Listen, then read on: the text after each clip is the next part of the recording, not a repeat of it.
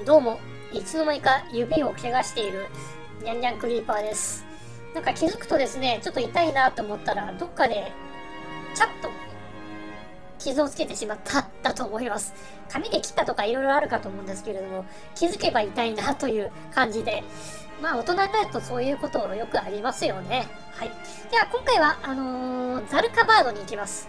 あの、テレポバズをちょっと使わせてもらいます。まあ本来であれば、あの、ボス D 氷河から徒歩で行くとは思うんですが、まあ皆さんもう一回ね、あのー、ザルカバード飛んだら、みんなテレポバズ使うことがほとんどでしょうから、こっからの方が懐かしいかなと思いまして、はい、今回は、えー、サポシロでテレポバズしました。はい。で、マップは、はい、こんな感じで、もう多分見慣れたマップだと思うんですけども、はい、こんな感じになっております。もうディナミス・ザルカバードのイメージが私は強いんですけどね。あとは過去世界もありますし、えっ、ー、と、あ、今400人か。えっ、ー、と、400人。ここじゃなくて、あの、このエリア。はい、1人。誰も他にいません。いやー、ここは本当に闇クリスタルを狙ったりとか、NM はいましたっけ？あまりここの NM で記憶がないんですよね。あの、なんか洞窟っぽいところはクエスト関係とか、なんかいたような気がしますが、あんまり思い出せないんですよね。はい。まあ、ここいろいろな名所というか、思い出の場所はいっぱいありそうなんですけれども、マップになんかこの辺りに何か、ね、勲章みたいなのがある。ああこれはあれか、過去ですね。過去に行くためのところがマップでわかるようになってるんですね。あと本が点滅してるところもありますね。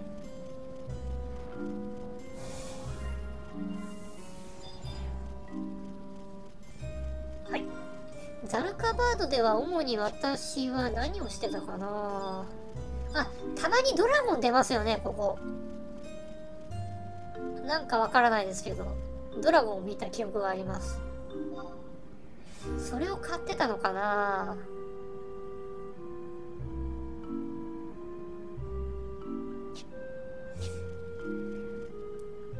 なんかこの辺にいたような気がするんですよね。移動しちゃってるのかどうか。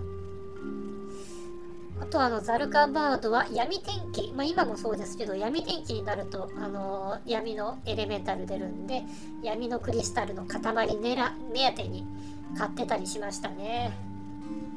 まあその時は赤魔同士だったんで、あの、円形の魔法を唱えて、クラクラでぶったたいて、はい。結構便利なアイテムだったんで、手放してしまってからはちょっと後悔してますね。また買い物したいんですけど、高額なんで、ほぼほぼ無理かと。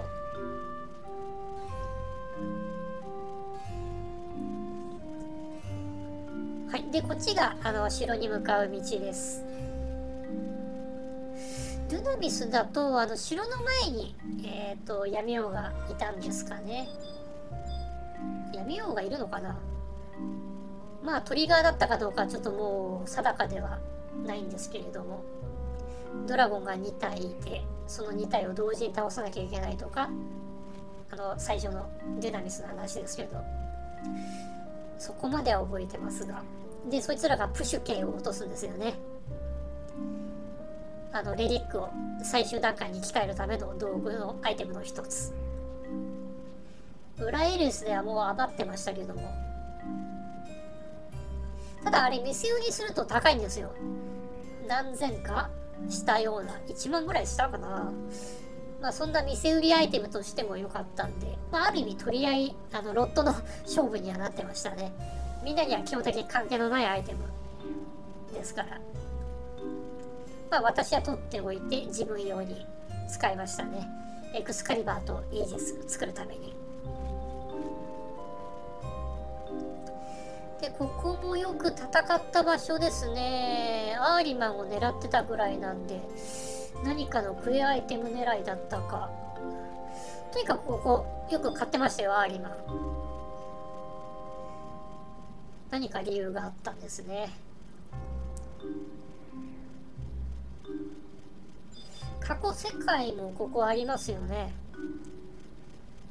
過去は実を言うとあまり覚えてないんです。どあの今まではね、過去世界をよく覚えてたんですけど、のこっちの方は、ザルカバードに関しては、現代をよく覚えてます。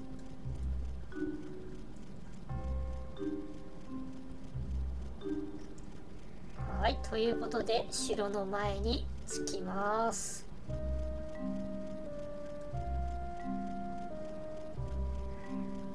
なんかあったんですけどね、もう、思い出せず。では、以上、ザルカバードの散策になりました。次回はズバール城を、えー、ちょこっと歩いてみたいと思います。はい。では、以上、ニャンニャンクリーパーでした。